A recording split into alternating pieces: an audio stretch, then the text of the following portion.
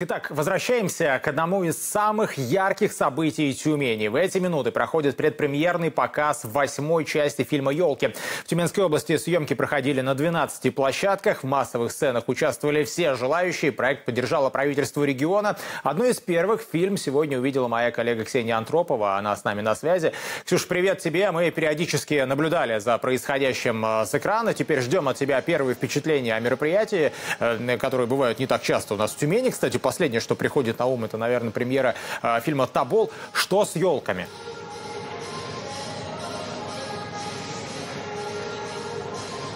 Все. Игорь, Игорь, привет. Ну, что с елками? Здесь все очень атмосферно, я тебе скажу. Как видишь, атмосфера елок пропитана все. Елки на баннере, э, елки настоящие, украшенные. Все по традиции главного зимнего праздника Нового года. Ну и какой праздник без подарков? Здесь тоже без этого не обошлось. Ну и главный подарок, конечно, это раскрытие интриги. Кто же, кто же стал главным героем или стала главной героиней именно тюменской новеллы? Э, сегодня имя звезды нам назвали прямо перед показом показом фильма. Ей стала Ольга Бузова. А, она здесь у нас тоже была на пресс-подходе перед началом кинопоказа и уже успела даже пообщаться, сказать пару слов э, журналистам. Вот фрагмент интервью. Самое сложное было скрыть мое присутствие. Я его скрывала. Я ничего не, сни не, не снимала тюменского. Просто засняла тикток на фоне небоскреба. Но почему-то все узнали свой дракона. Поэтому немного появился уже такой некий инсайт после моих э, видео. Я думаю, что ничего же страшного не произошло. Это наоборот еще больше привлекло внимание.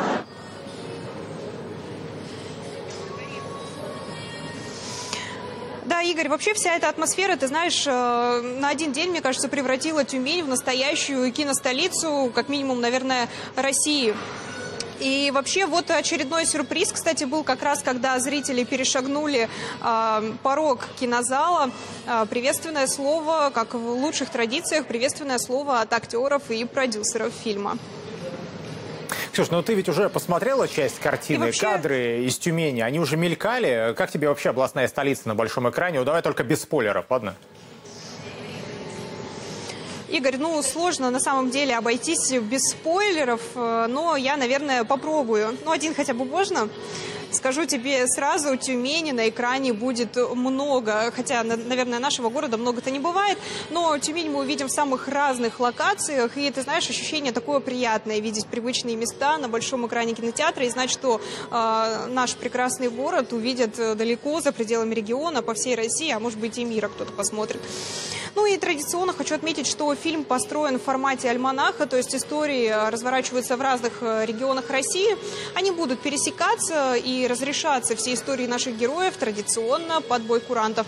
Ну и главными героями неизменными становятся Боря и Женя – это старые друзья. Я напомню, что они расстались в прошлой части фильма. В этой они снова воссоединятся, чтобы возродить э, старую былую дружбу. А, также теперь уже можно да, говорить Ольга Бузова перед Новым годом. Она играет здесь как раз саму себя. Ольга Бузова перед Новым годом оказывается в Тюмени, но областная столица просто так ее не отпускает. И здесь начинаются уже те самые приключения столичной э, звезды в нашей Тюмени. Локаций будет много. Ты правильно вначале отметил, что всего их 12. Эта звезда побывала и на термальном источнике, и в нашем аквапарке, и даже в настоящем Чуме. Ну и съемки поддержало также правительство Тюменской области. Так что показали мне все самое красивое в фильме. Три факта про елки, которые сняты в городе Тюмени в Тюменской области. Первое, это самая многолокационная съемка. Фи Тюменскую новеллу снимали в 12 местах, ни в одной другой новелле. Такого количества мест нет. Тобольск, Тюмень, Тюменский район, 12 мест. 20% команды, которая работала над производством этого фильма, это ребята из Тюмени, продюсеры, в том числе сценаристы. Ну а третий факт, безусловно, главным украшением провала. Подумайте, прежде чем сказать. Самый главный третий факт, это Он находится рядом с нами, один из самых популярных людей нашей страны, Ольга Бузова. Но больше подробностей, Игорь, ты от меня не дождешься. Судя по времени, кстати, фильм уже заканчивается, так что мне нужно успеть посмотреть финал всей этой истории.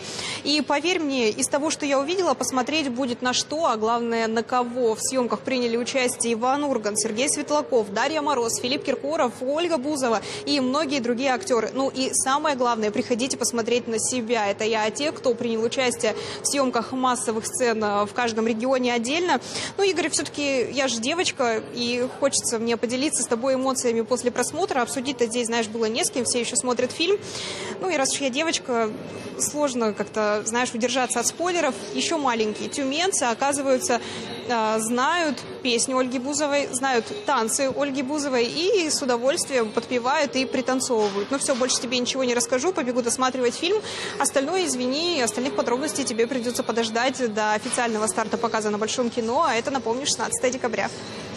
Ну, спасибо, Ксюша, огромное. Все, не отвлекаю, иди, обязательно досмотри, и, возможно, а, завтра по большому секрету нам что-нибудь расскажешь. А ведь на самом-то деле еще недавно вокруг елок разрастался настоящий скандал. Сразу несколько крупнейших российских киносетей отказывались брать в прокат эту картину. Причина в том, что новая серия франшизы должна была выйти на экран 16 декабря, а спустя две недели планировался запуск на стриминговой платформе. При таком раскладе кинотеатры просто теряли бы прибыль, они настаивали на окне в 45 дней. Ну и судя по тому, что все все-таки запускается, сторонам удалось договориться.